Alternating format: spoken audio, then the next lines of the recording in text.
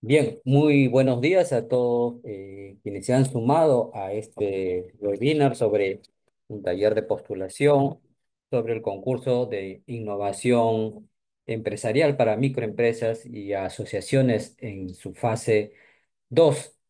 Eh, eh, mi nombre es Sandro Medina y voy a presentarles a dos especialistas que estarán a cargo de, este taller para apoyarlos y resolver dudas sobre eh, cómo postular en, este eh, concurso de innovación. Como bien saben, la innovación es clave para el desarrollo de un país, más aún para, si lo aterrizamos, para todas eh, las microempresas y asociaciones que conforman esta nación. Eh, nos acompañarán Elizabeth Peñalosa y Andy Cayirgos, especialistas de ProInnovate, un programa con más de 17 años de funcionamiento ininterrumpido y que eh, a lo largo de este tiempo, a agosto del 2024, ha cofinanciado a más de 7.270 proyectos de innovación y emprendimientos y otros relacionados al sector productivo y también a entidades de soporte. Eh, sin más, voy a, a, a ceder la palabra a Elizabeth Peñalosa, quien estará a cargo de, esta, eh, de este taller. Adelante, Elizabeth.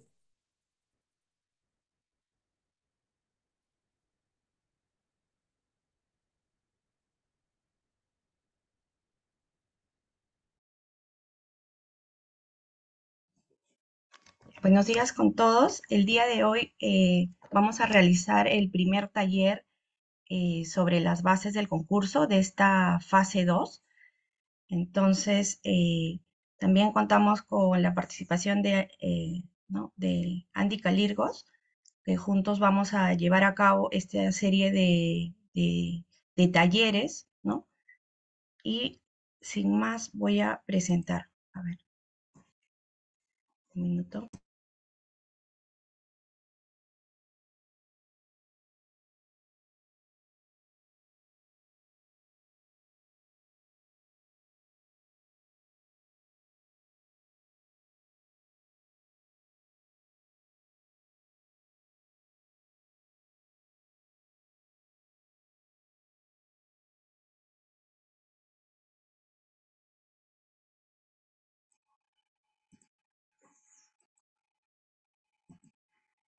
¿Me confirman si se ve la pantalla, por favor? Sí se ve, perfecto. Ya, perfecto. Entonces, eh, les damos la bienvenida, ¿no? Desde ProInnovate, que pertenece al Ministerio de la Producción. Eh, como ustedes ya saben, nosotros eh, impulsamos y consolidamos la innovación, el emprendimiento innovador y el desarrollo tecnológico y productivo en el país, ¿no? A través de fondos de, eh, no reembolsables, que son los RNR. Y es así que eh, en, en el trabajo eh, que estamos realizando ya hace eh, un tiempo atrás, lo que hemos querido es un poco simplificar un poco las bases, el formulario, y es así que hemos, traemos para ustedes en esta segunda etapa, en esta segunda, en la fase 2, tenemos dos etapas de, postulación que las vamos a explicar el día de hoy, ¿no?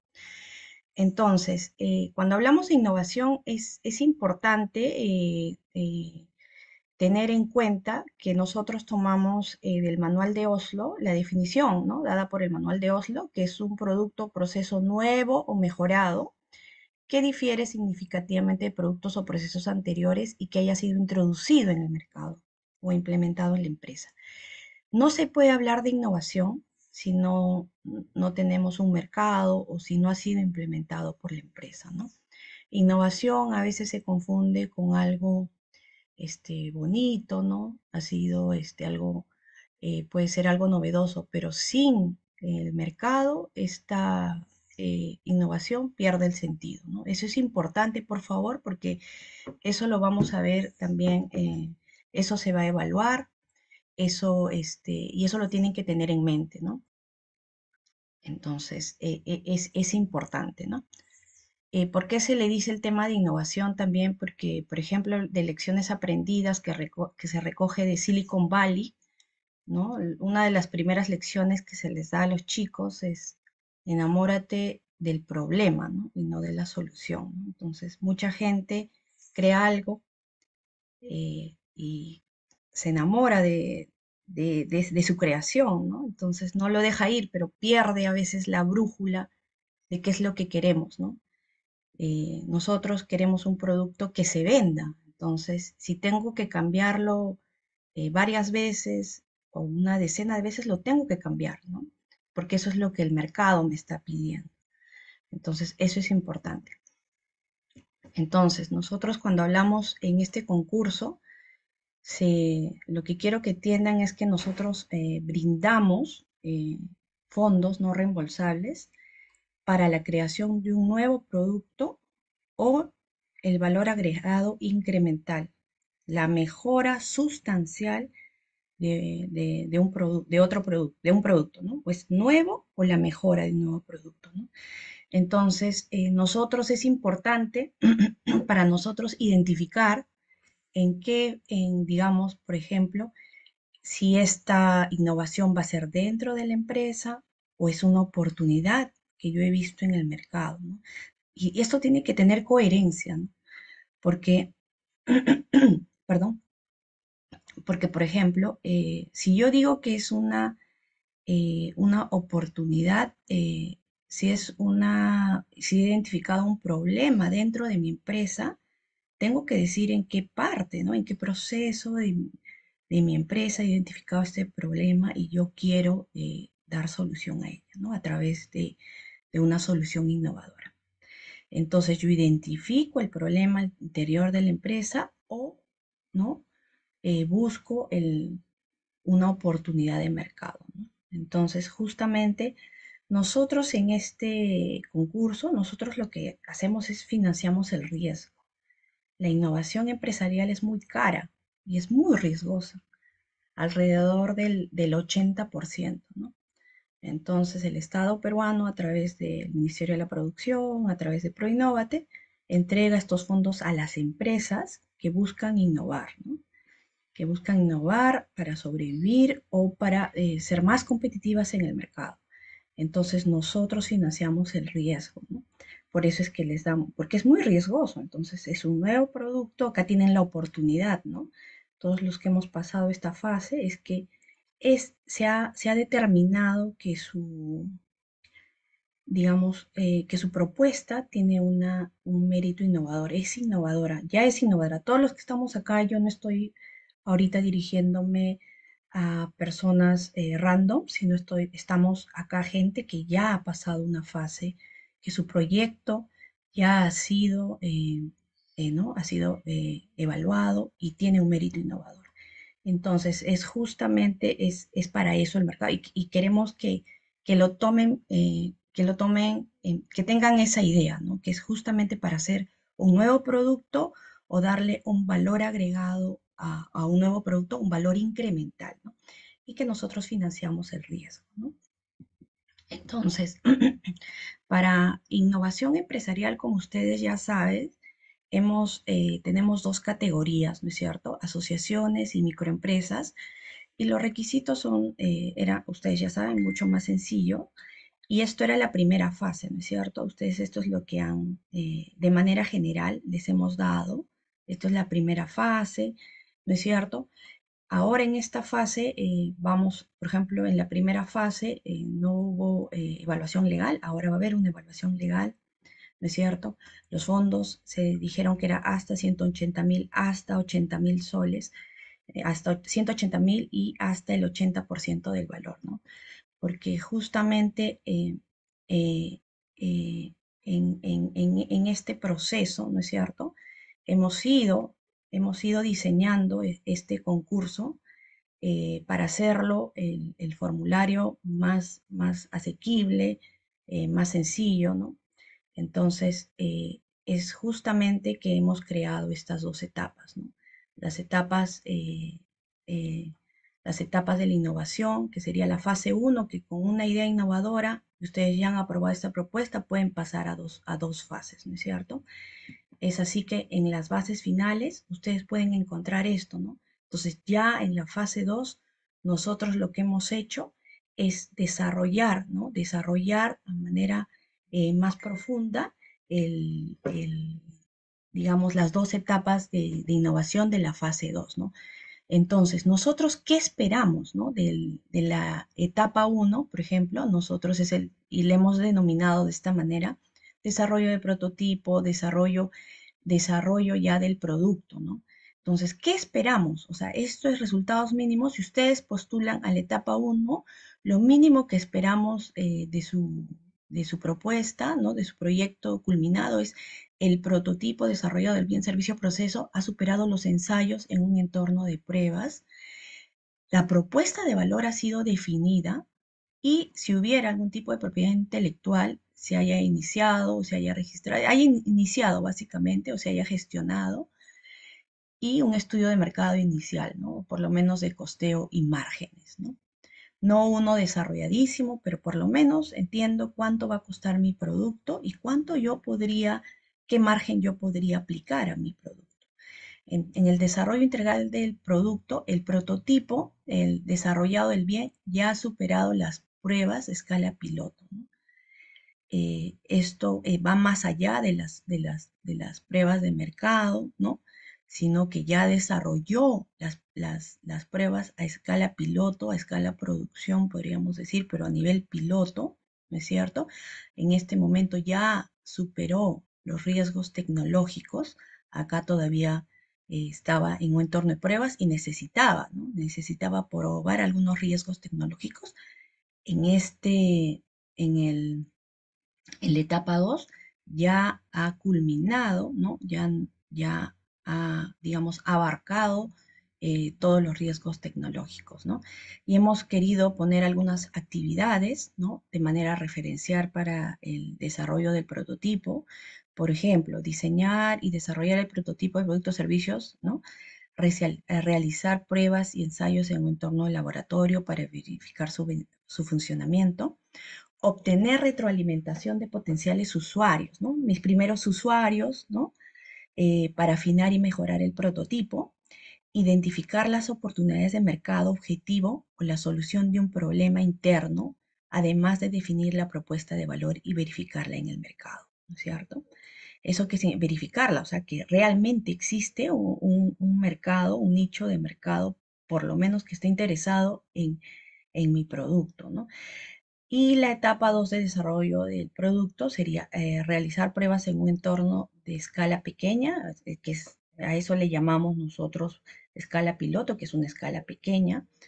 Eh, si yo tengo una, si, si, una producción normal es de, de mil kilos por, por hora, entonces mi piloto no puede ser de mil kilos, ¿no?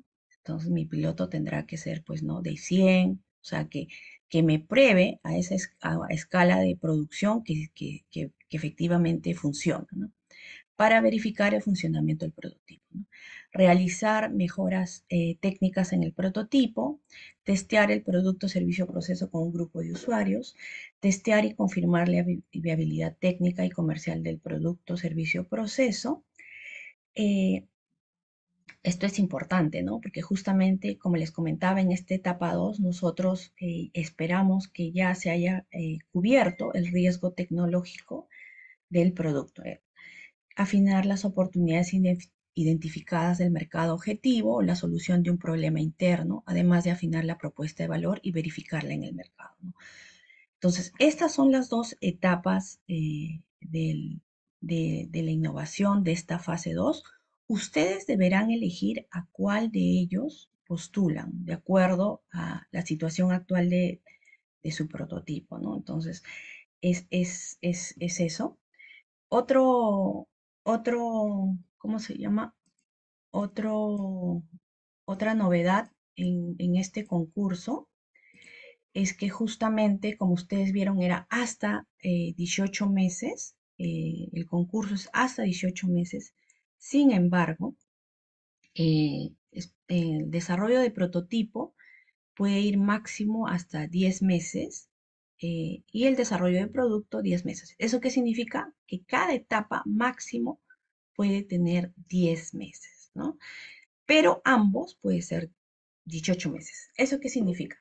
Si yo postulo a la etapa 1 con 10 meses, me quedará 8 meses si deseo continuar, ¿no? Para la etapa 2, para el desarrollo del producto, me quedará 8 meses. Si yo postulo con 9 meses, eh, desde la etapa 1, me quedará 9 meses para la etapa 2. Si yo postulo con 8 meses desde el desarrollo de, desde la etapa 1, me quedará 10 meses para el desarrollo de producto. Entonces, ustedes pueden ver, ¿no? de, acuerdo a la situación de, de, su propuesta, de su proyecto, cómo pueden eh, variar. Eh, digamos, la diferencia, la suma entre dos es 20 meses y en realidad lo que nosotros les estamos dando es 18 meses, o sea, ahí tendrían que jugar con un par de meses, ¿no? Entonces, la duración máxima es de 18 eh, meses, por favor. Entonces, si yo postulo, una pregunta seguramente, si yo postulo directamente a la etapa, a la etapa 2, a la etapa 2, si yo postulo directamente a la etapa 2, si yo postulo directamente a la etapa 2, tendré 10 meses, pues, ¿no? ¿Y puedo tener 18 meses? No, no. Solo tengo 10 meses porque cada etapa tiene una duración máxima de 10 meses. Cada etapa tiene una duración máxima de 10 meses y entre las dos, la suma de las dos tendrá 18. Eh, yo tengo, postulé con cinco meses al desarrollo de prototipo. ¿Puedo tener los, los 13 restantes en la etapa de producto, en la etapa 2? No. O sea, si postulas con cinco meses, eh, tendrás los 10 eh, más los 10, que es la duración máxima por etapa de la etapa 2. Máximo 18 meses entre los dos y por etapa máximo 10 meses. Eso es. Y luego también tenemos lo mismo en el tema del monto de financiamiento. El monto de financiamiento total es de 180 mil soles. Sin embargo, el monto máximo por etapa es de 100 mil soles. El monto máximo eh, es 180 mil soles y el monto máximo por etapa es de 100 mil soles. ¿Eso qué significa? Si yo postulo a la etapa 1, entonces yo podré acceder hasta los 180 mil soles, ¿no? ¿No es cierto? Ah, pero si yo postulo a la etapa 2, solo podré acceder hasta 100 mil soles. Esa es la, digamos, esos son eh, los, eh, las nuevas en este, en este concurso, ¿no? Luego tenemos eh, la misma, el mismo concurso, pero en la modalidad cambio climático. El año pasado, Produce junto con Proinnovate lanzó la iniciativa Perú Produce Innovación frente al Cambio Climático, ¿no es cierto? El año pasado lanzamos alrededor de, me parece, 14, 14, 13 concursos relacionados a esta iniciativa y este año también estamos lanzando como la modalidad cambio climático y en este concurso tenemos también la modalidad cambio climático, ¿no es cierto? Ustedes saben que estamos en una crisis climática, no hay otro planeta donde podemos mudarnos, así que eh, eh, desde el gobierno está promoviendo el tema de, justamente de tomar acción, eh, acciones de cambio climático. Entonces, como ya les decía, la ciencia es clara, la temperatura no puede incrementar más de 1.5 grados para no poner en riesgo la, habitabilidad del planeta. El gobierno ha invertido alrededor de 40 millones de soles para el cofinanciamiento no reembolsable de al menos 175 proyectos que contribuyan a las medidas de mitigación. Ya les comenté que el año pasado ya lanzamos algunos y este año también estamos lanzando. Y tenemos seis enfoques. Eh, ¿no? O sea, eh, ProInnovate ha, determinado los seis enfoques de acción climática. Entonces, todos aquellos que están postulando a la modalidad de cambio climático ya deben haberse eh, percatado que tenemos eh, seis enfoques de acción climática, que son bosques y agricultura sostenibles, energía limpia, edificaciones sostenibles, pesca resiliente, economía circular y bienestar resiliente. De estos seis enfoques, ¿no? donde eh, eh, seguramente sus proyectos está ¿no? directamente relacionado a uno de ellos, dos de ellos son transversales, que es economía circular y bienestar resiliente. ¿Ok? Cada enfoque, cada uno de estos enfoques tiene líneas de acción. Tienen tres líneas de acción, que esto es gestión inteligente de datos, uso eficiente de los recursos disponibles mediante nuevas tecnologías o criterios de circularidad y nuevos modelos eh, de negocio para la escalabilidad de soluciones adaptando tecnologías existentes. Entonces, ¿qué es bosques? Es el, enfoque de bosques impulsa el desarrollo de soluciones innovadoras para incrementar la eficiencia y resiliencia de las prácticas agrícolas y forestales, así como la conservación, gestión y recuperación de los bosques. Energía limpia impulsa la descarbonización, resiliencia y descentralización de la energía con fuentes renovables y su uso eficiente en industrias, hogares y transportes. Edificaciones sostenibles impulsa el desarrollo de viviendas sostenibles desde los procesos productivos necesarios para su construcción. Pesca resiliente impulsa la resiliencia de la actividad pesquera y acuícola al cambio climático, incorporando innovación en prácticas, modelos y estrategias para su escalamiento. Economía circular, como ya les comenté, es, es, es un enfoque transversal. Impulsa modelos de economía circular desde el diseño desde el diseño de las propuestas de valor en todos los sectores y entre sectores como catalizador de la innovación. En realidad, eh, todos nuestros modelos ya deberían ser circulares, pero no es así. Es por eso que impulsamos desde diseño de una propuesta de valor, imagínense que ya deberíamos tener un, un modelo de circularidad. ¿no? Y bienestar resiliente, justamente impulsamos la resiliencia de personas y ecosistemas naturales ante los efectos adversos del cambio climático a través de, soluciones innovadoras. Este es el concurso de innovación empresarial cambio climático, ¿no es cierto? Este fue el de la, la primera fase. Acá también explicamos un poco cómo ha sido, ¿no? Este, todo este proceso ha sido la fase 1, la fase 2, en la fase 1, básicamente lo que hemos eh, evaluado es el mérito innovador, ¿no? que incluye mercado potencial, porque ya les dije que el mercado no puede estar lejos de la, no puede, no puede estar eh, apartado de, del mérito innovador. ¿no?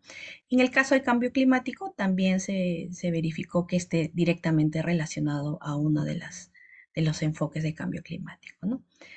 Hubo instancias de evaluación, que fue evaluación externa y también hubo un comité técnico, todos externos a, ProInnovate, independientes y externos a ProInnovate. En la fase 2 tenemos también los criterios de evaluación, básicamente que se van a evaluar son calidad técnica de la propuesta y fortalezas de las entidades participantes, y además en el caso de cambio climático que también tenga eh, un enfoque relacionado al, a la acción climática. Las instancias de evaluación que tenemos en esta fase 2 es evaluación externa, evaluación legal, comité técnico y ratificación. ¿no? evaluación externa y el comité técnico son dos instancias externas e independientes a ProInnovate. Eso está fuera de ProInnovate. ¿no? Y luego vamos a contar con una etapa de planificación operativa para los que resulten seleccionados y firmen el, contrato posteriormente. Eh, básicamente esto es de la, ah, de la, de la fase 2, ¿no? como ya les comenté, de la fase 2 de cambio climático, que el objetivo es el mismo, ¿no? lo que queremos es este concurso eh, está hecho para fortalecer, ¿no? La, fortalecer, ¿no? La capacidad eh, innovadora de las empresas peruanas, ¿no? ¿A través de qué? Nosotros cofinanciamos. Como ustedes saben, tienen que dar una contrapartida, cofinanciamos proyectos eh, de innovación, que es básicamente la obtención de un nuevo producto proceso o mejora, ¿no? Un- o sustancialmente mejorado, ¿no? En este caso de cambio climático, con el fin de contribuir a la acción climática, ¿no? Es básicamente, eh, eh, esto ya lo saben, eh, que era la, la- la primera fase, ¿no? Y la segunda fase es muy similar a lo que ya hemos comentado. Entonces, ¿cómo postulo? Ingreso al, al sistema en línea, ¿no? Puedo ingresar a, a través de la página web de ProInnovate, ingreso al link del concurso y ahí dice eh, postula aquí. O ingreso directamente a ingenius.proinnovate.gov.p. Es básicamente eh, eso. Nosotros, eh, ¿cómo postulo, no? Ingreso a la página web de ProInnovate, accedo a la información que, ¿no? del concurso, leo las bases. Toda la información está en las bases del concurso. Revisa y descarga el manual de postulación. El jueves tenemos eh, el taller del, formulario y antes del jueves está el manual de postulación, que va a ser presentado justamente el jueves también. Y luego postulo al sistema en línea, ¿no? Nuestros concursos cierran a la una de la tarde, por favor. Eh, eh, tengan bastante cuidado con eso porque siempre, lamentablemente, llega, llegan propuestas que están culminadas, pero a la una y no sé, una y menos, no sé, microsegundos llega, llegan correos pidiendo que, que no, no lograron ingresar, ¿no? Porque nuestros cierres son automáticos, ¿no es cierto? Eh, en este caso ya ustedes están participando en charlas y recibirás un, un correo de confirmación, ¿no es cierto? Eh, bueno, es, es eso, es eso básicamente. No sé si tienen eh, eh, consultas.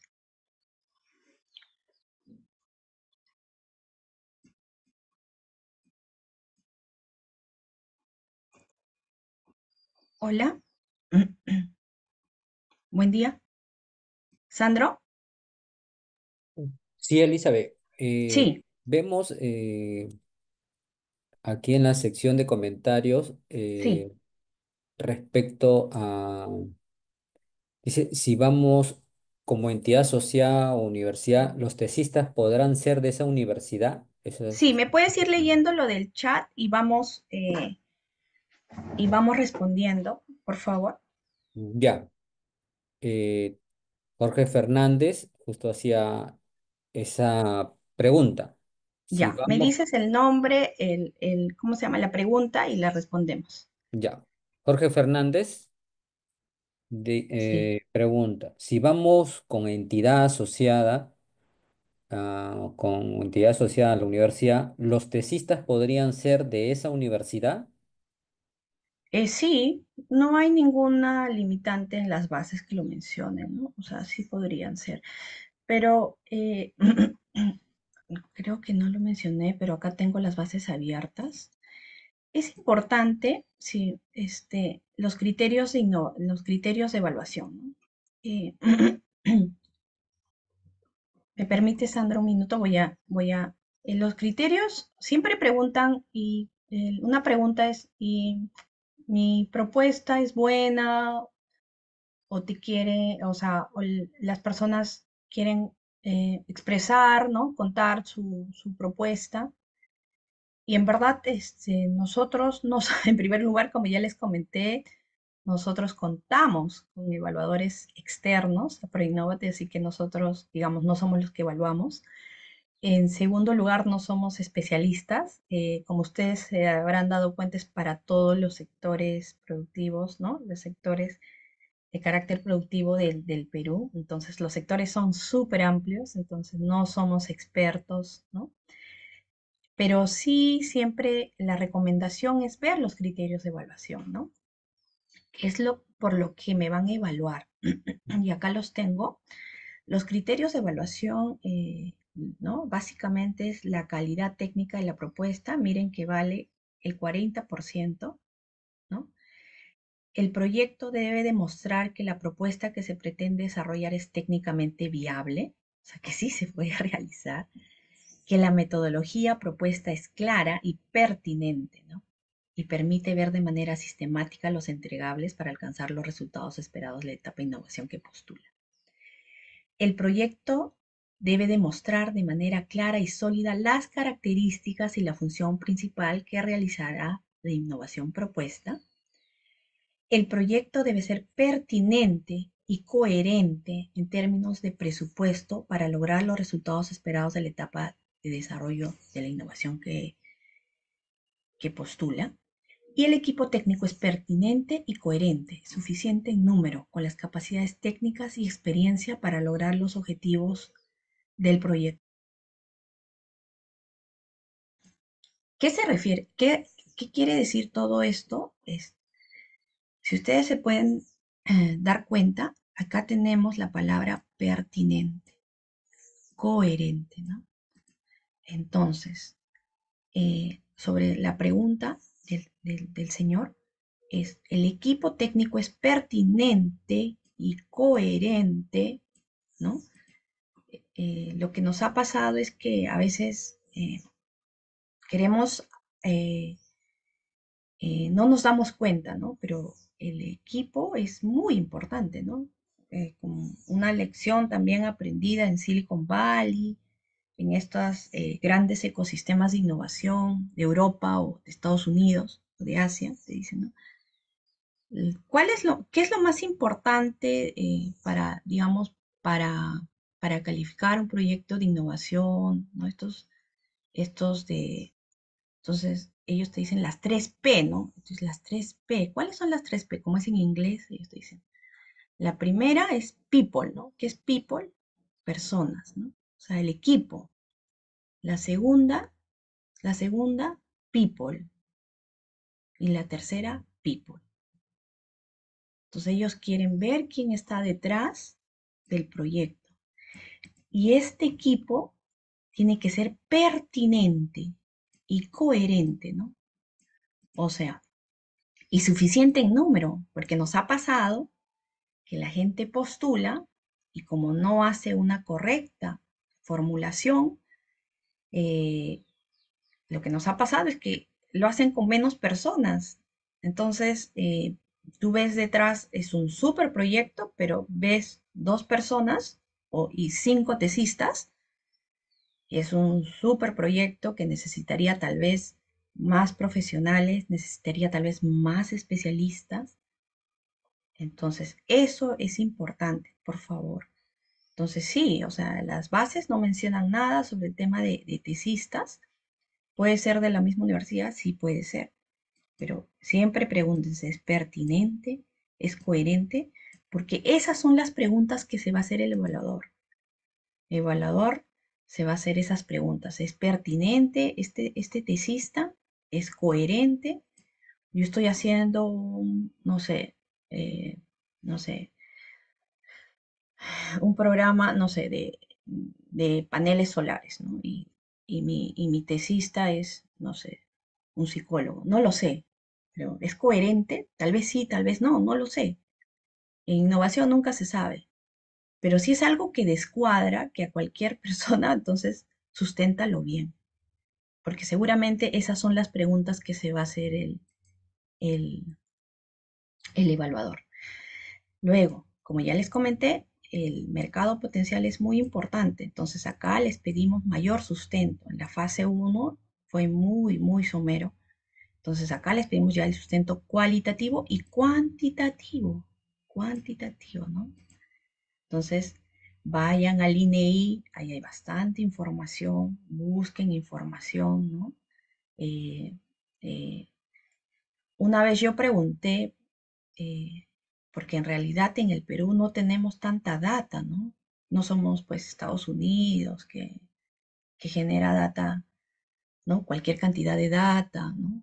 O somos uno de estos países, ¿no? del norte. Entonces, eh, y un, profesor ¿no? nos comentó que había mucha información en las tesis. En las tesis hay mucha información. Entonces, para eso tenemos Alicia. Ustedes han escuchado de Alicia del Concité. Es el repositorio de tesis del Perú. Entonces, ahí podrían encontrar también información.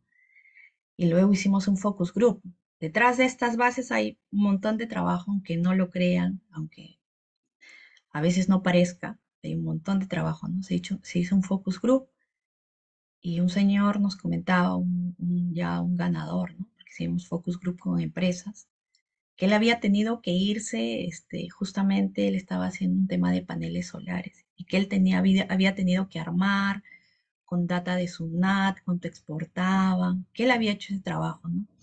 Y que este, si ustedes, alguno de ustedes tiene acceso a ADEX Data Tray, ahí está más comidito que en el de SUNAT, ¿no? O sea, en SUNAT tienes que entrar y hacer todo este, un filtrado, ¿no? Este, eh, por favor, las consultas son por el, por el chat. Estamos yendo en orden.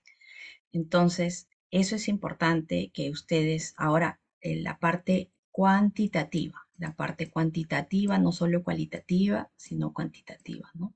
Entonces, eso es importante, ¿no? El modelo de negocio y estrategia para capturar el valor eh, generado de, la innovación es importante. Luego tenemos la capacidad de ejecución y fortaleza de las entidades solicitantes y entidades asociadas. Las entidades solicitantes y asociadas tienen fortalezas en términos de capacidad financiera, infraestructura física, equipamiento. Entonces, eh, eh, o sea, va de acuerdo a mi, ¿no? Es pertinente, es coherente que yo esté yendo con esta entidad asociada. Y miren cuánto es el, cuánto es. Este es el subcriterio con mayor porcentaje. Entonces, elijan bien a su entidad asociada.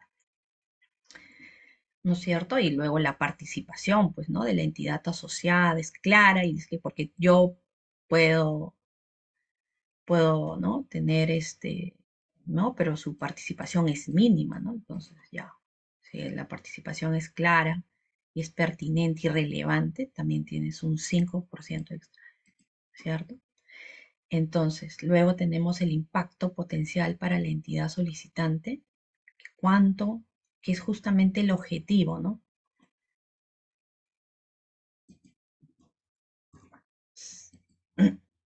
Es justamente, es justamente el, el es justamente el, es justamente el tema de, el tema de la, del objetivo de este concurso. ¿Cuánto va, cuánto va a aumentar la productividad y competitividad, el aumento de la inversión de la innovación en esta empresa. Y la sostenibilidad ambiental, que en este caso es también eh, si desarrolla una solución innovadora, si es una sociedad BIC, si busca mitigar o adaptar, es un 5%. Ok. Este, Sandro, este, Andy, ¿me, me, me mencionas por favor? ¿Qué me dices? ¿Puedes abrir tu micro porque no te estoy entendiendo? Eh, Elizabeth, ahí Sí, eh, Jo- Jorge Tito y Jairo Santos han levantado la mano para que sí. Este, eh, las preguntas, Sandro, son por, por, por el chat. No sé si te comentó Cristel. Las preguntas son por el chat y Ah, son por, y Entonces, tú las a ver, tienes, tú las lees y yo las respondo, sí. acá hay Pero otra de Milton, eh, perdón, sí, ya. de Es solo para terminar es esto, entonces seguimos con las, con las preguntas. Eli, ¿cómo están todos? Muy buenos días. Les saludo de Gallegos. Eli, solamente este, si está, no se estaba proyectando los criterios de evaluación de las bases. ¿No? A ver, a ver. No, solamente se ve tu pantalla, tu primera diapositiva. Gracias. Oh, ok, ok. A ver. Gracias, Andy. Entonces, este, lo que les comentaba era esto, ¿no? De manera rápida, la calidad técnica de la propuesta es el 40%, la dimensión del mercado potencial es el 20%, la capacidad de ejecución y fortalezas de la entidad solicitante es 30%, el impacto potencial para la entidad es el 5% y la sostenibilidad es el 5%. Es, es básicamente eso y lo que les comentaba de cada su criterio eh, es eso, ¿no? Que tienen, tienen que ser pertinentes y, coherentes, ¿no? En número. A veces eh, tienen que hacer, eh, formular su proyecto, ¿no? Para que no sea, a veces, como ya les comenté, no es suficiente o no, no, pare, no sea ni mucho ni poco, sino lo correcto, lo que es lo que se necesita para realizar el, el, el proyecto. Este, seguimos con las preguntas, este, Sandro. Claro. Tenemos a Nilton Guerra, Sí, menciona lo que se muestra ahora, eh, el prototipo desarrollado es para cuando ya hayamos aprobado la fase 2 o es para que nos aprueben la fase 2. ah, ok, qué buena pregunta. Sí,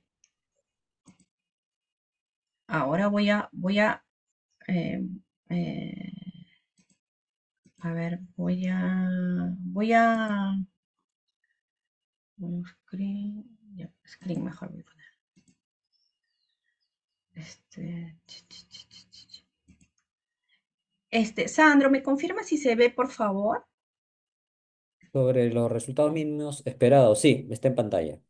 Ok, como ya comenté en la, eh, ¿no? Pero los vuelvo a repetir, los resultados mínimos esperados. Esto es lo que se espera cuando ya culminen esta etapa.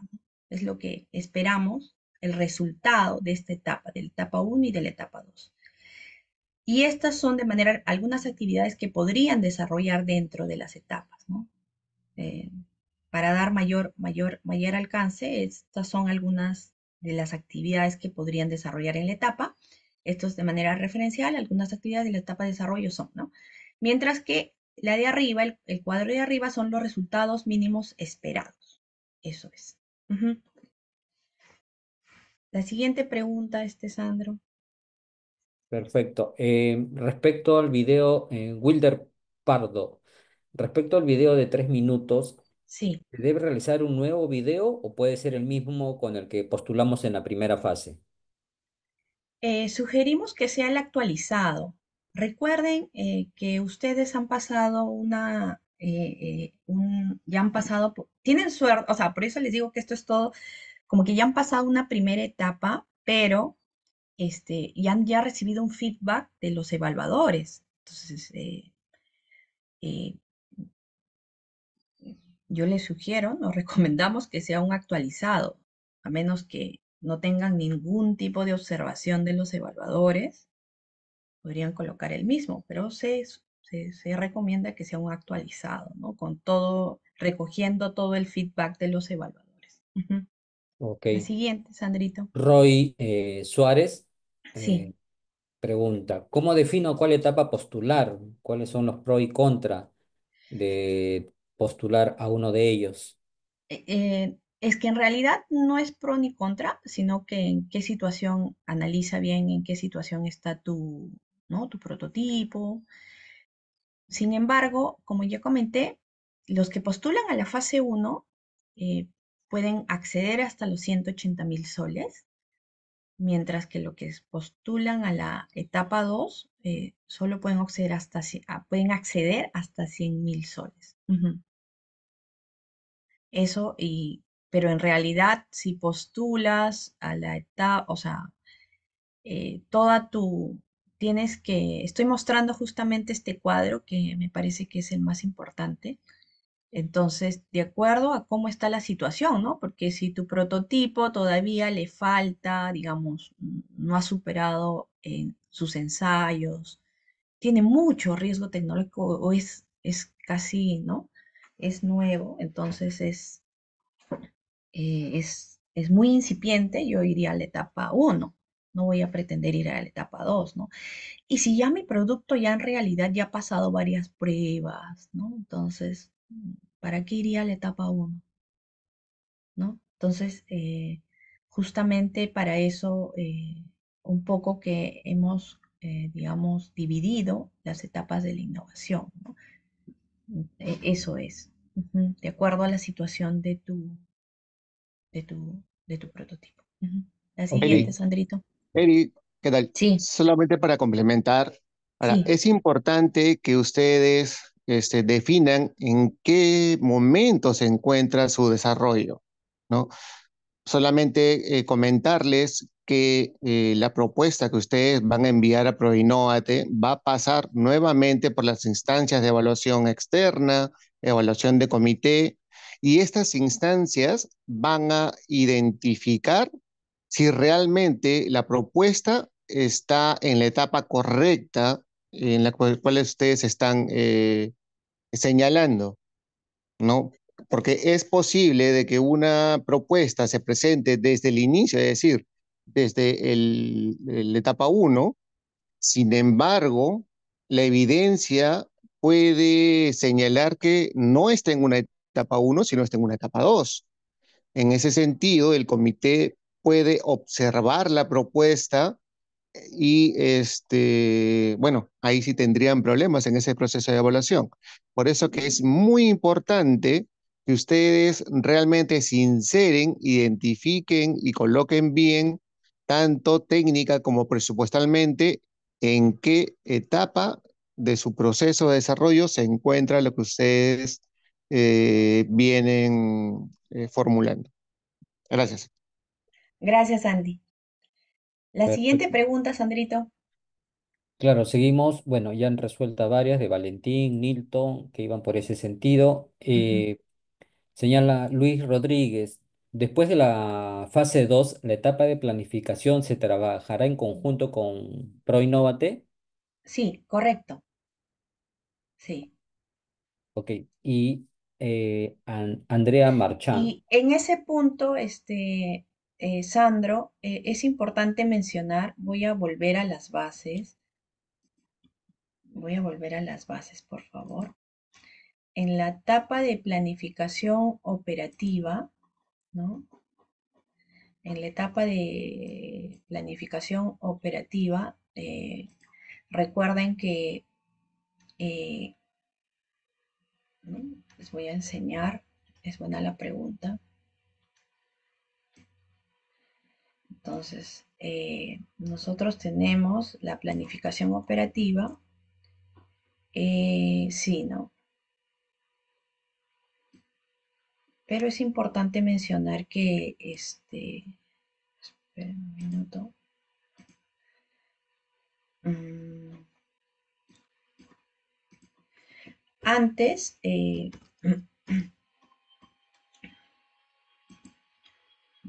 Ah.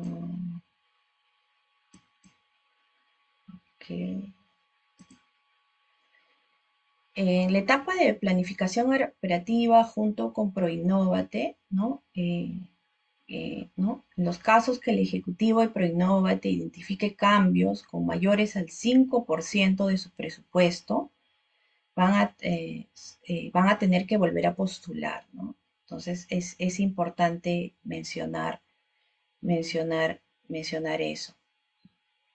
¿no? Entonces, en planificación operativa sí puede haber un cambio, pero puede ser mínimo, ¿no? No, no se confíen de que ahí pueden hacer mayores cambios, ¿no? Eso era este, eh, Sandrito. Ok, eh, aquí tenemos eh, otra consulta de Aldea Mar- Marchán. Sí, Si aplico para la etapa 1 y 2, ¿los sí, resultados esperados son solo los listados en la etapa 2? eh, sí, o sea, lo que pedimos es esto, ¿no? Que el prototipo eh, sea eh, para la etapa 1, para que pases a la etapa 2, eh, que hayas eh, superado los ensayos en un entorno de pruebas, una propuesta de valor definida, ¿no? Si hay algún tema de registro de propiedad intelectual que lo gestiones y, y un estado de mercado inicial, por, por lo menos con costeo y márgenes, ¿no? Eso para la etapa, para que pases a la etapa 2. Ujú. Eh, Van- eh, Vanessa Núñez Sí, pregunta, deseo saber si en la primera etapa eh, consideré a un coordinador, pero para la segunda eh, pienso cambiarlo. ¿Se puede hacer eso? eh, haz la consulta por correo, vamos a consultar a otra unidad también. Ese, ese. Tengan cuidado porque ustedes, o sea, normalmente antes este concurso era como que era una etapa ficha, ¿no? O perfil, una etapa sencilla y luego la etapa proyecto. Pero como ustedes eh, se han dado cuenta, en este caso, eh, en este concurso, en realidad eh, es este, es, es básicamente, es el concurso, está, ¿no? Es el concurso dividido en dos, porque acá en la primera fase se ha evaluado el mérito innovador justamente para rescatar aquellas ideas, las ideas innovadoras, ¿no? que, que a veces por, por una mala formulación se quedaban, ¿no? Y entonces acá ya ha sido aprobado tu proyecto, ¿no? Entonces, eh, en la fase 2 ha sido aprobado tu proyecto. Y aquí en la fase 2, este, eh, eh, tienes que tomar en cuenta eso. hazme la pregunta, haz la pregunta a innovación empresarial arroba y ese, ese, esa consulta se te responderá. En la siguiente, Sandrito. Ok. Eh, Lisbeth eh, Tafur Sí, eh, se- eh, pregunta, respecto a la postulación de la fase 2, sí, la que tienen dos etapas, en el sistema sí, nos da a elegir dos opciones, etapa uno y etapa 2, sí. pero nuestra asociación va a postular ambas fases. ¿Nos podría explicar, por favor, si aplicamos en la etapa uno, tenemos que esperar que nos evalúen para pasar a la etapa 2? Correcto, Ya. es En caso sea así, todo el Sí, formulario se tendría que llenar en base a los resultados esperados en la etapa uno. correcto. Qué buena pregunta. Sí, sí, Sí. ¿Cómo se llama la señorita? Perdóname, Sandro. Lisbeth eh, Tafur Vargas. Sí, sí, Lisbeth, es correcto. Ustedes tienen que llenar su formulario, así postulen para las dos etapas, pero ahorita ustedes están postulando la etapa uno. Entonces, una vez que culminen la etapa 1, eh, ¿no? ProInnovate también va a tener este, un comité y, si han cumplido con, los resultados mínimos y han cumplido la parte administrativa con, con ProInnovate, eh, inmediatamente pasan a la etapa 2. Entonces, si tú estás en la etapa 1, todo tiene que ser relacionado a la etapa 1, ¿no? Entonces, en eso les decía en el tema de coherencia, ¿no? No puedes, eh, si postulas a la etapa 1, no puedes empezar a irte muy lejos porque va a parecer que estuvieras hablando de la etapa 2, ¿no? O sea, en temas de, por ejemplo, en- empiezas con la etapa 1 y empiezas a hablar, sí, que el piloto, o voy a hacer una, una producción a escala piloto, bueno, ten cuidado con esos términos, ¿no? Por querer, eh, ¿no? Entonces, por eso Andy eh, intervino diciendo que, ¿no? Ustedes evalúen en qué punto están, ¿no? En realidad. Y, y de acuerdo a eso, tienen que postular a la etapa que, me- que mejor eh, se acerque a su, a su, a su realidad y postular de acuerdo a, a eso, ¿no? La Ah, siguiente, la siguiente, Sandrito. San Francisco Añazgo Sí, pregunta, eh, por favor, eh, si pudiera definir a modo de resumen si los recursos no reembolsables pueden ser utilizados en los honorarios del coordinador general, el coordinador administrativo, no, recursos no, no, humanos o no, tesistas. no, no. Este, eh, el, acá estoy mostrando, confírmame, Sandro, si se ve, por favor. Sí, se está viendo. Sí, eh, nosotros no cofinanciamos honorarios incentivos, por favor. Entonces, aquellos que han postulado alguna vez a Startup, este es otro concurso, este es otro concurso diferente. Acá se puede valorizar, sí, el- el- ¿no? Se puede valorizar, sí, se puede valorizar el tiempo del coordinador general, ¿no? El administrativo. Se puede valorizar los recursos humanos directamente involucrados de la entidad solicitante o entidad asociada.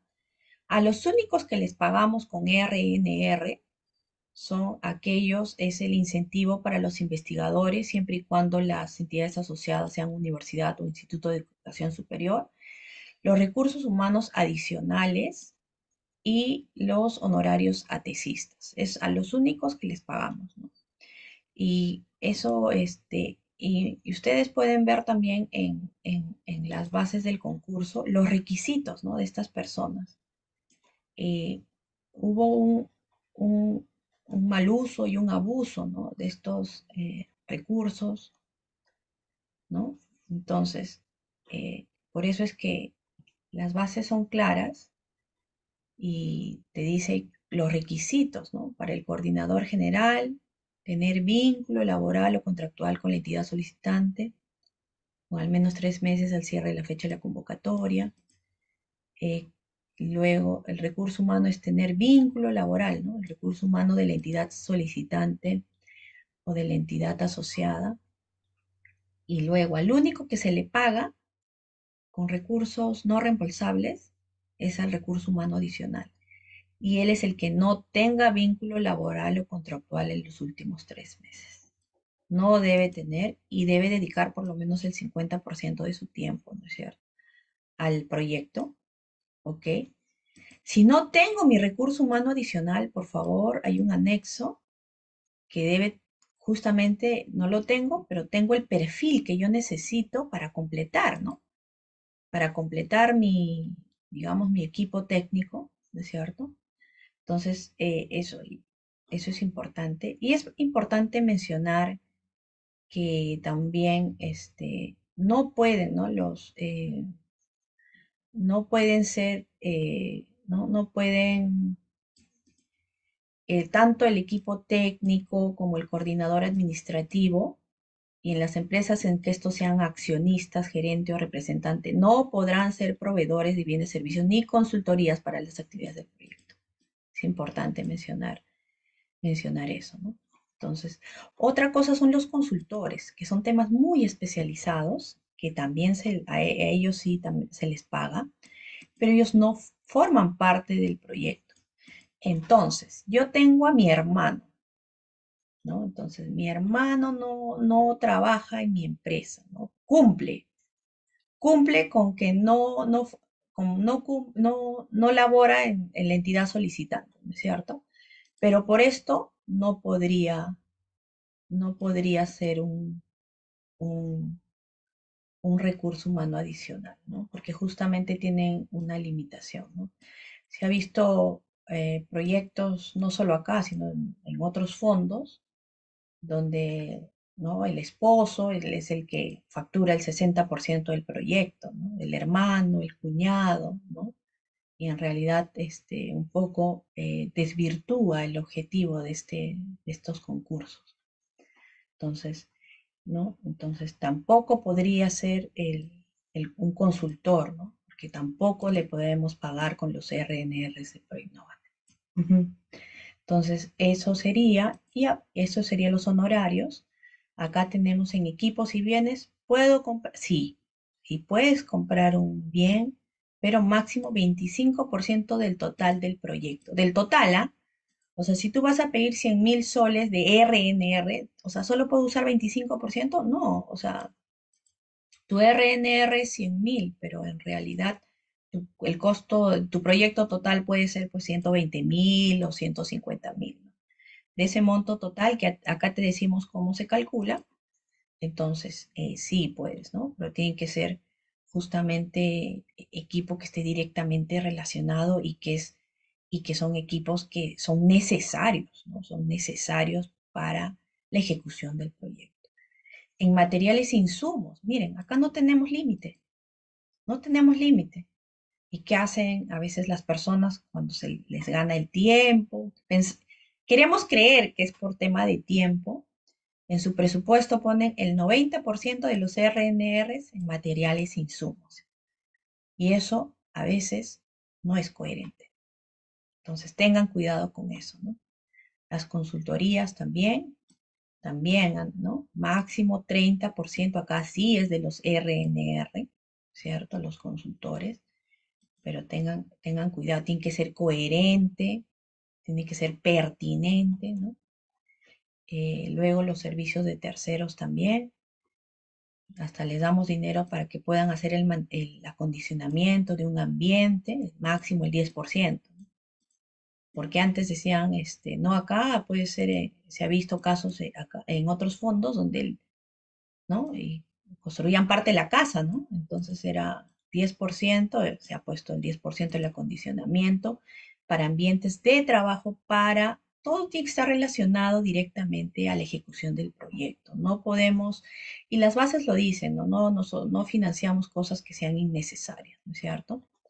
Entonces, básicamente es eso. Y miren, señores, también tenemos pasajes y viáticos. gastos, eh, ¿no? Que pueden ser destinados a las actividades de campo, podemos hacer pasantías también, ¿no? Pero máximo 10%, ¿no?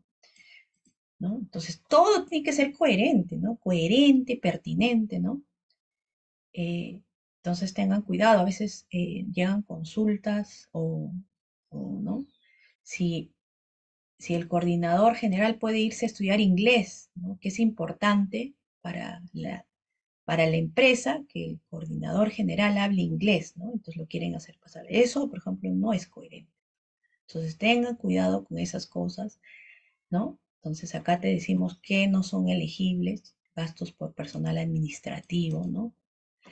Eh, gastos fijos. Cuando acá dicen, ¿no? Excepto del co cofinanciamiento del coordinador administrativo, no es que nosotros le vayamos a pagar. Acá no son elegibles tanto los RNR de Proinnovate como eh, la contrapartida, la contrapartida del, ¿no? de la empresa. A eso se refiere, es todo. O sea, es, estos cuadritos no es solo para los RNR, estos cuadritos están, son, digamos, los rubros que están detallados para, tanto para, para todo el proyecto. O sea, ¿no? Porque a veces en contrapartida le quieren poner también cosas que no, que no van, ¿no? Gastos fijos, capital de trabajo de la empresa, gastos financieros, adquisición o alquiler de equipos, bienes duraderos, adquisición o alquiler de inmuebles y adquisición de vehículos, ¿no?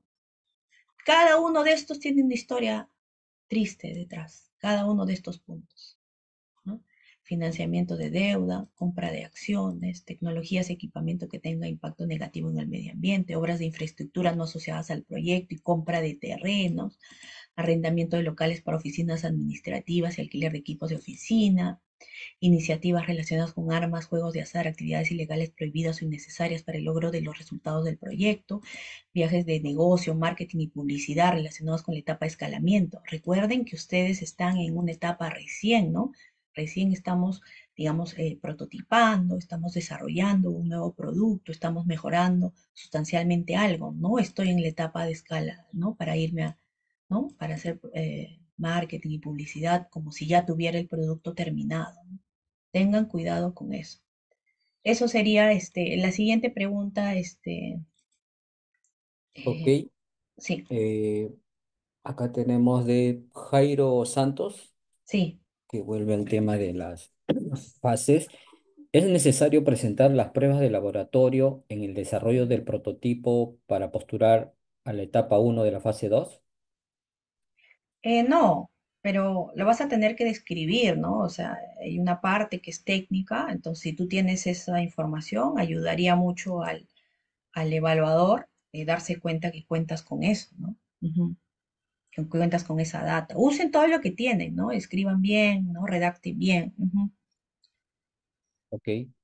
Eh, vuelven al tema Aunque en la, perdóname, en la metodología ahí les damos un campo para que puedan adjuntar, ¿no? Este, en la metodología. Si es parte de la metodología, podrías incluirlo ahí, ¿no? Para darle mayor veracidad a tu, a tu proyecto. Lojara Espinosa. Sí. Pregunta, eh, ya hemos pasado la etapa 2 de evaluación, pero para efectos del proyecto recién estaríamos ingresando a la etapa 1, ¿es, ¿es cierto? ¿O también debemos ingresar a la etapa 2? No, no, no, no, no, no nos confundamos eh, fases y eh, no confundamos fases y etapas, por favor. Entonces, esto es la, esto, la fase ya ustedes pasaron. Acá en la fase 2 tenemos dos etapas, ¿no? Es la etapa de desarrollo de producto y la etapa de desarrollo de, de, de, de producto. ¿Qué es esta? Nos fijamos acá en la fase 1, tengo acá la idea y en la fase 2, ¿no?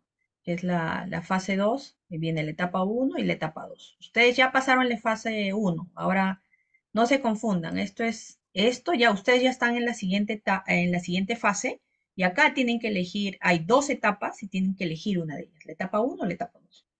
La siguiente, Sandrito.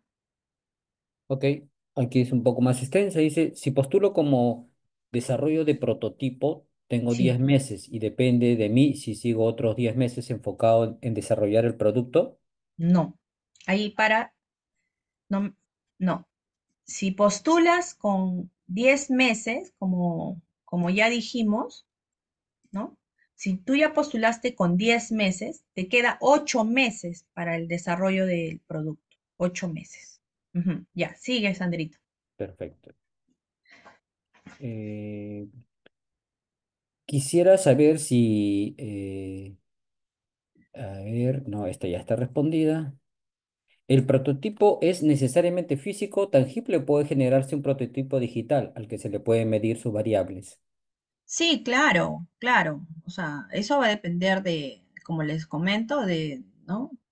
De la naturaleza del- de, de tu proyecto. Claro que sí. O sea, eso no, no es físico, no, no necesariamente, ¿no? Pero vas a tener que, que en el video, si es, al- si es un software, vas a tener que, que, que dem- que, ¿no? que mostrar algo, ¿no? Ujú. Perfecto. Carla Testino eh, hace la siguiente consulta. Quisiera saber si mi esposo, que es un profesional capacitado para el proyecto y que no es accionista, ni gerente general, ni representante legal de la empresa, puede ser parte del equipo técnico. Este, eh, no, porque no cumpliría ninguno de los, no cumpliría, ¿no?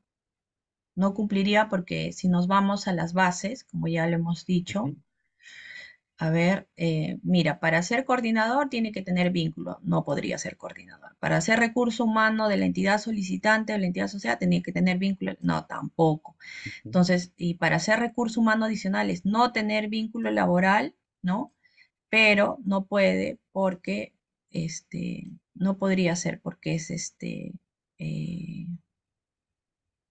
eh, no podría contratar con, con los RNR de Proinnovate, ¿no? Entonces no podría ser este, eh, un recurso humano adicional. O sea, se estaría contra, estaría contra, contra las bases. Ok. Eh, Gerson Yamil dice, todos los proyectos deben eh, de registrar patente, ¿es estrictamente necesario? No, no, no, no, no, no, no. Es un ideal, es un ideal. Por eso es que en las bases y en, ¿no? Se menciona que en realidad dice sí aplica, ¿no? O es un ideal, ¿no? Es un ideal. eh, lo que pasa es que las bases es, es un, es, es un, es un candado, ¿no? Para, para protegernos contra, contra terceros que puedan expropiarnos de nuestra, nuestra idea, ¿no? De nuestra innovación. Entonces, es un ideal, ¿no? Sí, por eso dice si aplica, ¿no? Jorge Tito consulta. Yo tengo mi proyecto, que es un software, le voy a implementar IA y no tengo clientes ni ha salido al mercado. ¿En qué estoy? ¿Etapa uno o ya ingreso a la etapa 2?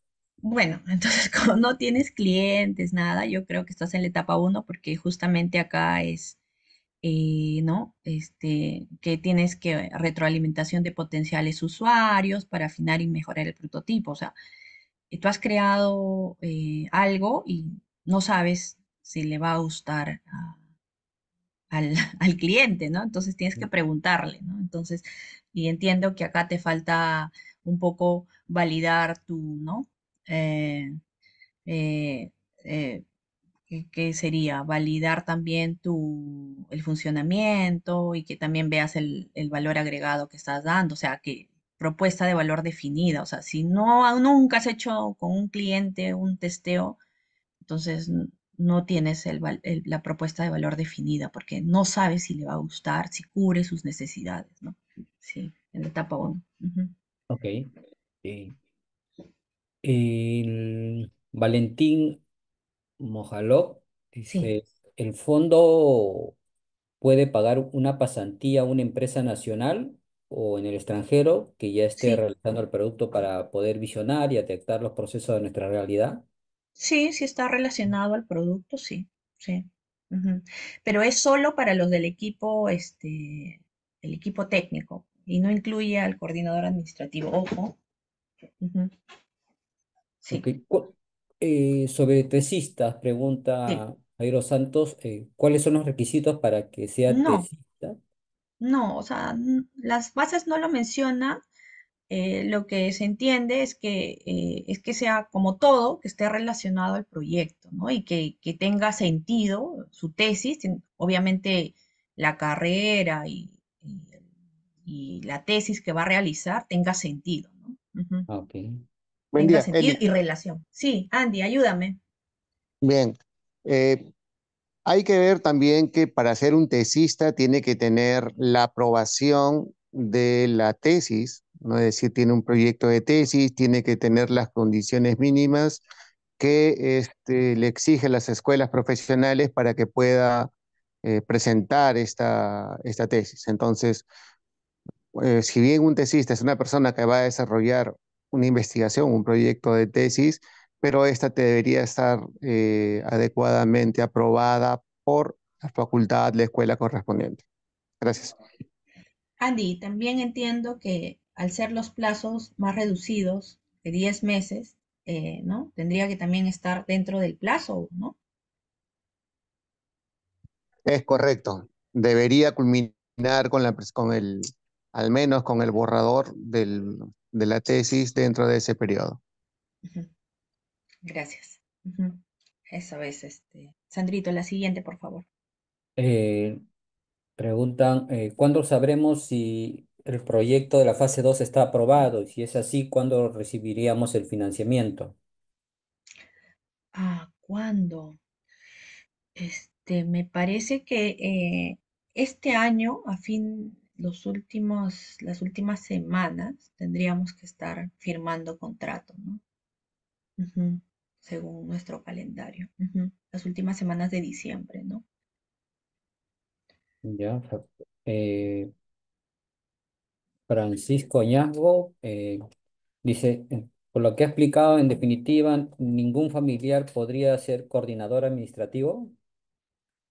Este, en el coordinador administrativo, en realidad, eh, a ver, vamos a ver, imagínense me, remito a las bases, ¿no? Sí, o sea, el coordinador administrativo no, no se le, no, no recibe tampoco, digamos, RNR, como ustedes han visto en, en el anexo, no, no podría recibir RNR de Proinnovate.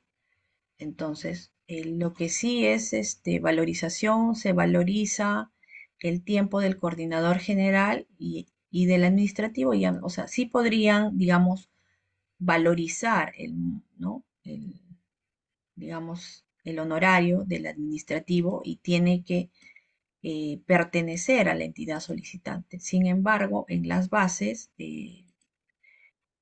menciona el coordinador administrativo, a ver, el coordinador administrativo dice, no forma parte del equipo técnico. ¿Eso qué significa? ¿Por qué creen que hemos puesto esto? el coordinador administrativo no puede viajar, por si acaso. O sea, si van a una pasantía, eso es todo para el equipo técnico. Por eso es que está bien diferenciado. Los roles del equipo técnico son tres. El coordinador general, el recurso humano de la entidad solicitante o de la entidad asociada y el recurso humano este, adicional. El coordinador no forma parte del equipo técnico. Por lo tanto, este, este, digamos, este rol no podría hacer las pasantías, no, no pertenece al, equipo técnico. Se debe incluir un coordinador encargado de la rendición de gastos del proyecto.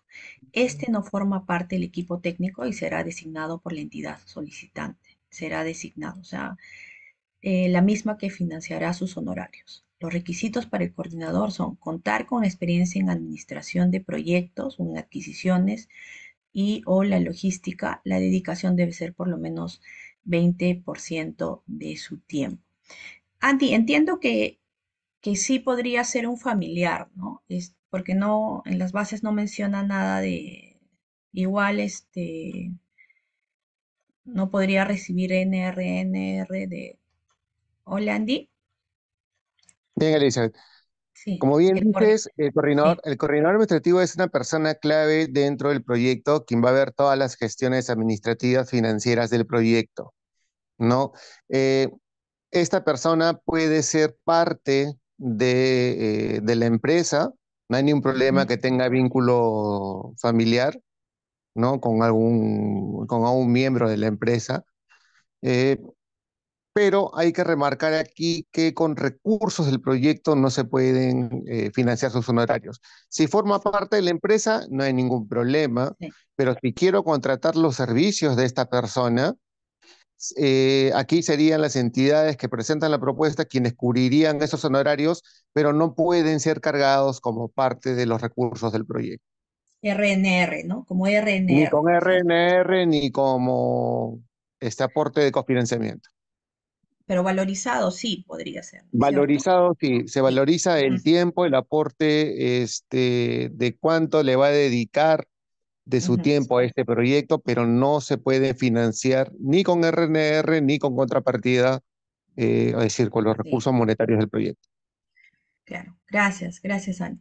Sí, tengan bastante cuidado con quienes colocan en su equipo técnico. Ya hemos dicho que es muy importante y como ya hemos visto también en las bases, eh, ¿no? En los criterios de evaluación se evalúa justamente el equipo técnico es pertinente y coherente, ¿no? O sea, eh, ¿no? He, visto en otros, en otros fondos, ¿no? Que por ejemplo este, el proyecto traía un tesista, el tesista, el, no sé, era, representaba el 80% del presupuesto del, del, del proyecto, ¿no? Y eso no es coherente, ¿no? Ni pertinente. Entonces, igual, ¿no?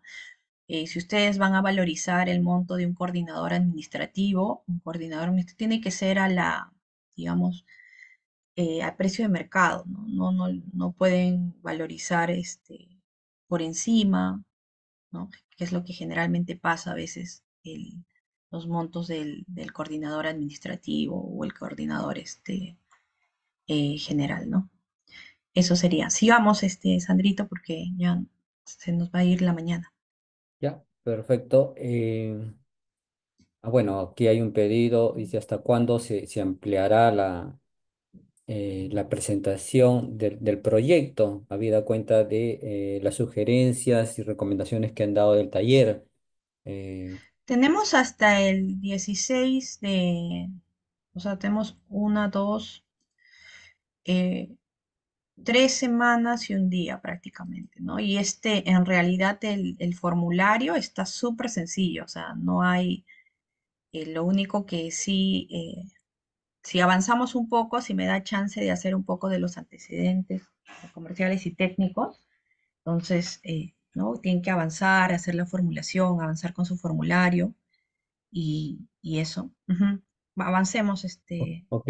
Andrito. Sobre el coordinador, hay dos Sí, sí, y Nilton Guerra eh, señalan que eh, el coordinador administrativo al culminar con éxito un programa anterior eh, sí. para Perú, ¿es suficiente experiencia para cumplir con lo que se indican las bases? Sí, o sea, el coordinador en realidad eh, es una salvaguarda para ustedes. Como menciona, mencionó Andy, es, debe ser una persona que, que, que los ayude, porque eso es la persona que va a llevar a cabo la, la gestión del proyecto, ¿no? Es encargado de la rendición de gastos del proyecto, ¿no?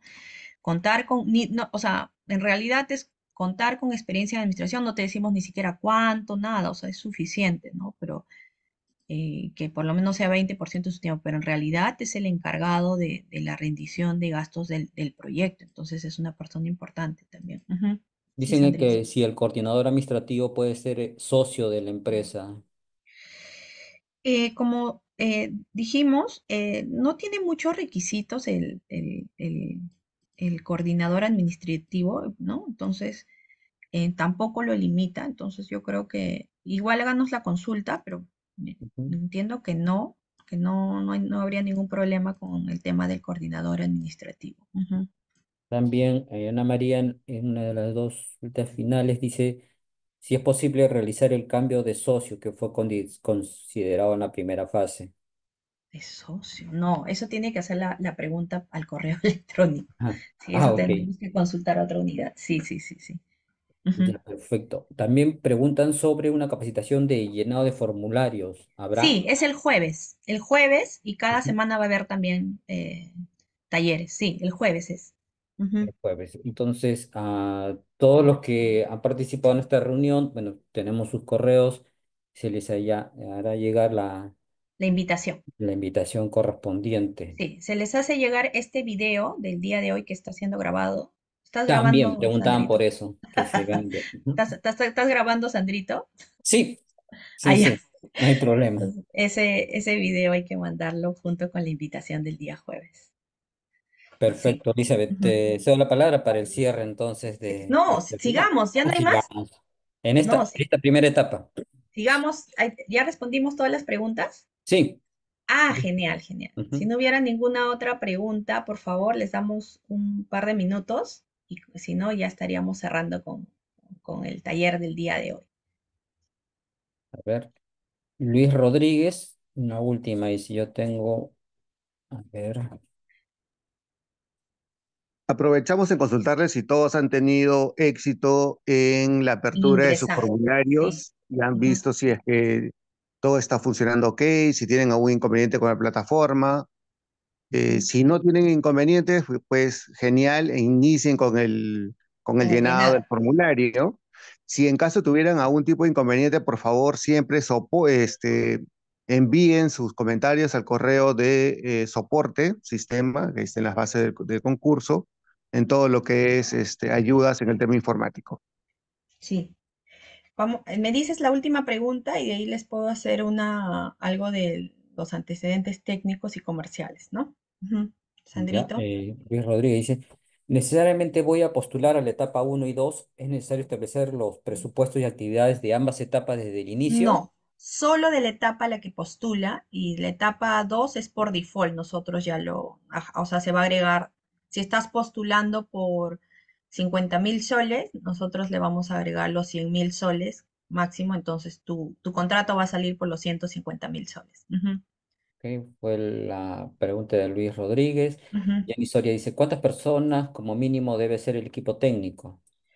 Eh, en realidad eso depende de la naturaleza del, del proyecto, ¿no? Entonces, nos ha pasado este, que a veces han ido con menos personas.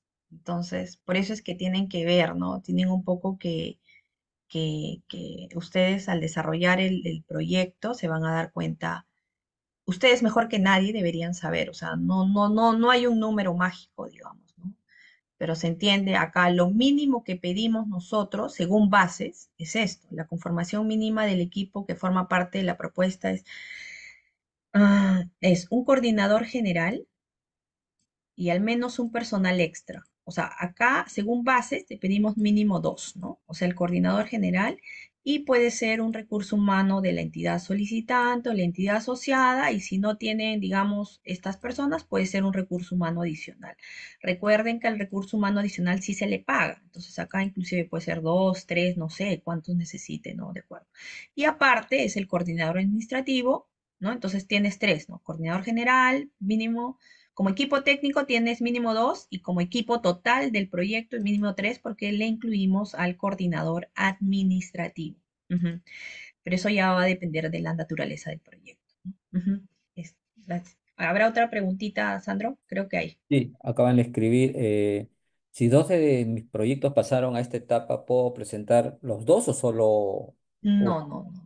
Según bases del concurso, solo se puede presentar uno.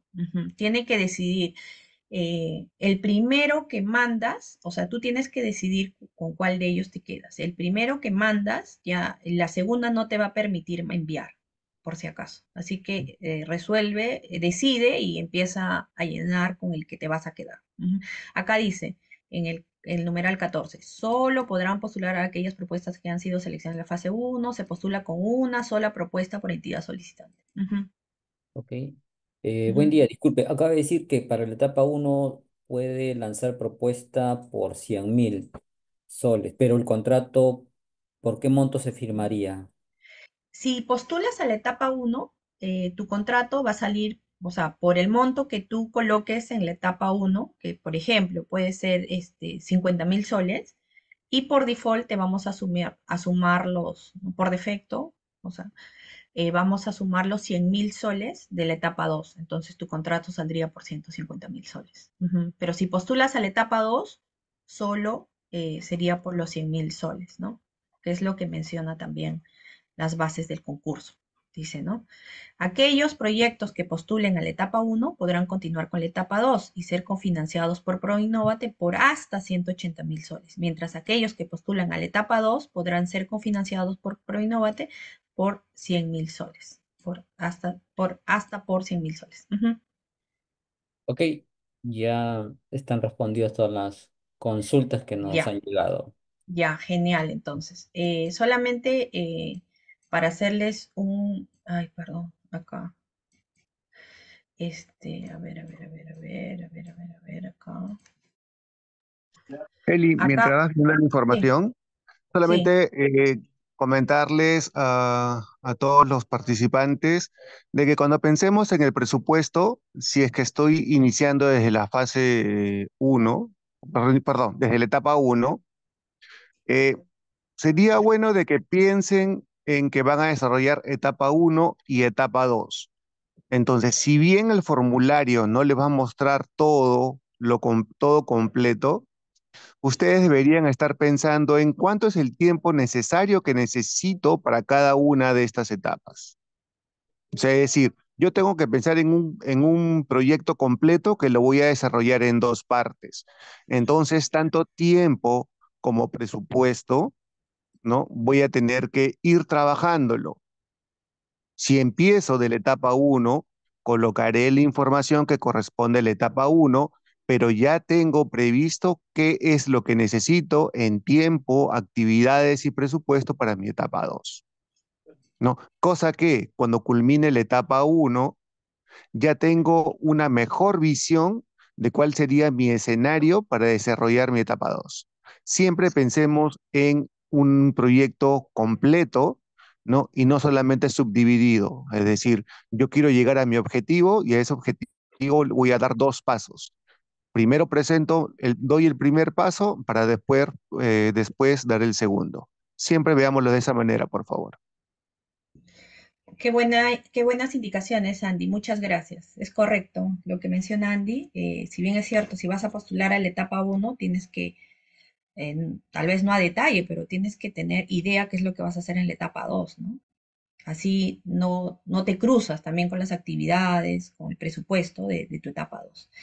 Entonces, eh, cuando nosotros hablamos de antecedentes, eh, digamos, técnicos, eh, mucha de la información que existe, ¿no? Existe en el, en el mundo y es, digamos, la, la, más nueva, están en las, en las patentes.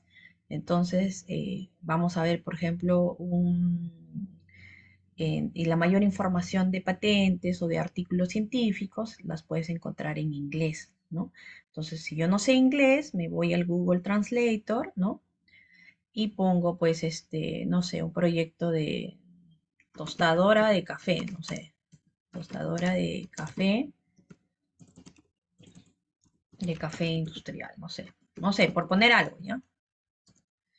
Entonces pongo esto, lo copio, ¿no? Lo copio y luego me voy a Google y como pongo Google Patente y mire que me sale en inglés Google Patent, que es el Google Patente.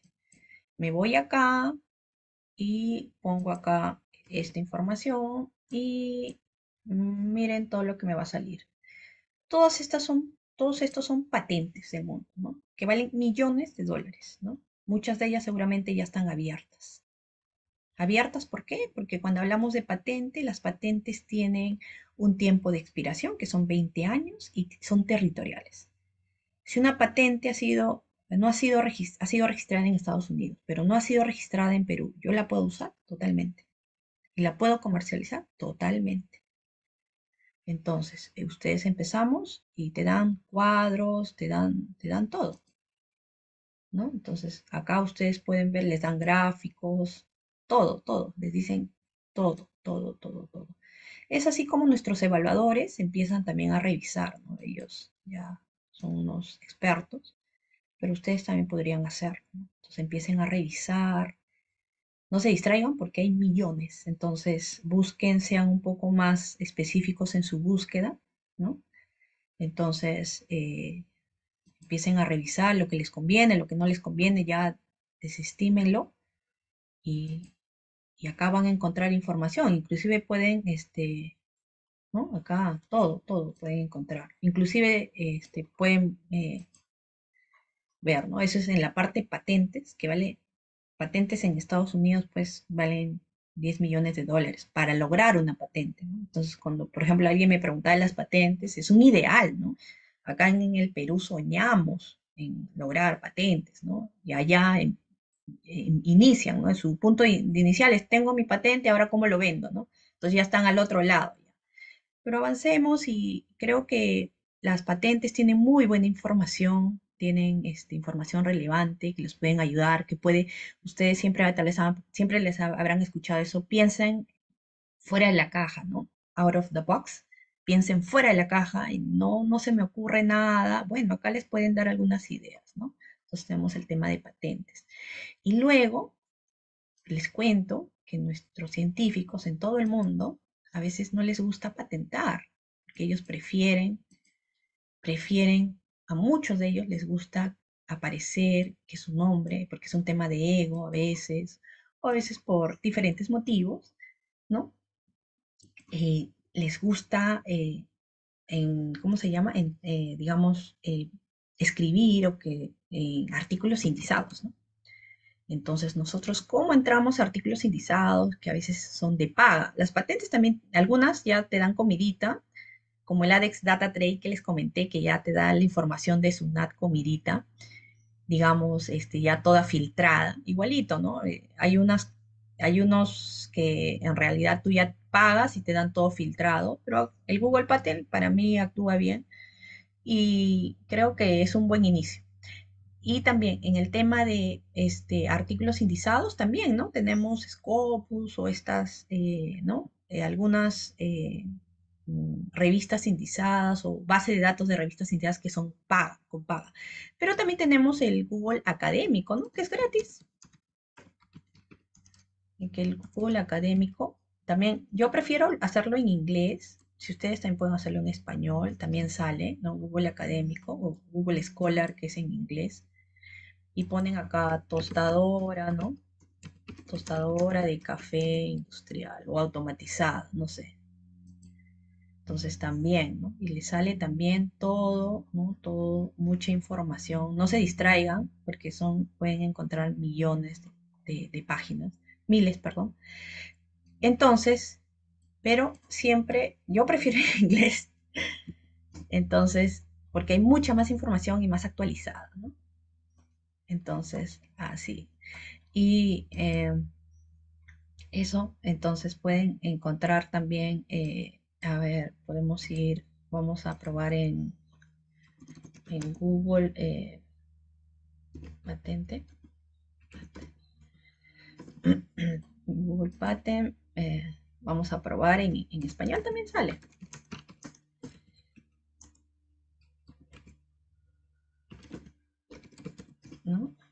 También sale acá, pero hay mucha menos información que en inglés, ¿no? Y miren que acá no hay gráficos, ¿no? Entonces, sí, e, eso sería, entonces ahí les pedimos, eh, eh, yo revisaría unas tres, ¿no?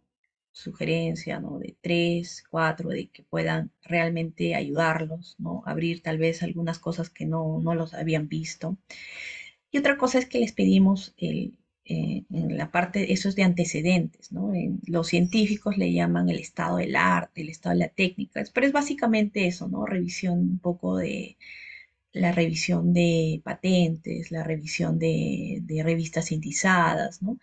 Y también la parte comercial, pues, ¿no? Si yo tengo una, entonces yo estoy haciendo tostadora de café industrial, por decir un ejemplo, el ejemplo que estamos tomando, entonces voy a buscarlo pues en Google, ¿no? Voy a buscarlo en Google, ¿no?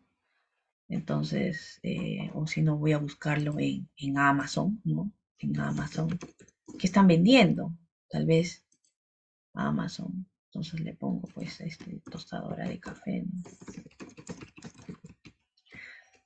Oh. Ok, esto era en Amazon, a ver qué me sale con esto. Entonces, por ahí yo veo que ya se está vendiendo, ¿no? Que ya se está vendiendo en el mundo, ¿no? Esto es la parte comercial, esto es lo que se, ya se está vendiendo en el mundo, ¿no? Entonces, eh, también me da una idea, ¿no? Entonces, una revisión, yo le diría de tres, mínimo tres, pues, ¿no? Tres, tres, tres patentes. Con eso le doy a entender al, al, al evaluador que sí he hecho mi chamba, ¿no? Que sí he hecho. Entonces, pueden estar haciendo eso y les puede dar ideas, ¿no? Como ya les dije, el, el, las patentes es un mundo que y, eh, los, los países, estos que invierten pues el 3, 4% de, de su PBI en innovación, se gastan 10 millones, 5 millones de dólares en hacer patentes. Y si no está protegida en el Perú, ¿la puedo comercializar? Sí, la puedo comercializar, porque son territoriales. Y, y muchas de ellas son, este, este, son, tienen un plazo, es 20 años. Entonces, sí la puedo usar, sí la puedo usar, tranquilamente. ¿no? Entonces, pueden buscar. Es, es, eso lo que quería enseñarles para que vayan avanzando un poco también y hagan un buen antecedente técnico, por favor, el antecedente técnico de, de, de las patentes, de las, de las revistas indizadas, es, es, es, ¿no? Y de la parte comercial que se está vendiendo, ¿no? En Amazon, otra vez en otras, en otras, en otras también páginas comerciales, ¿no? Eso sería todo. Eso sería todo de mi parte, este, Sandro, con eso ya estaríamos culminando, me parece. Perfecto, Elizabeth. Peñalosa, Andy Cayirgos, muchas gracias, muchas gracias a todos los que asistieron a este taller informativo sobre este concurso, como ya lo dije en un comienzo, está relacionado con la innovación, que es clave para el desarrollo de las empresas y todo tipo de acciones relacionados al sector productivo. Entonces ya nos estamos viendo para este jueves, ¿cierto? Para este jueves, correcto. Para este jueves, donde eh, eh, se verán y también podrán hacer sus consultas a través del chat que tenemos aquí en esta sala. Bien, Gracias. hasta pronto. Y el video se compartirá eh, en breve, apenas este, lo bajemos. Ok.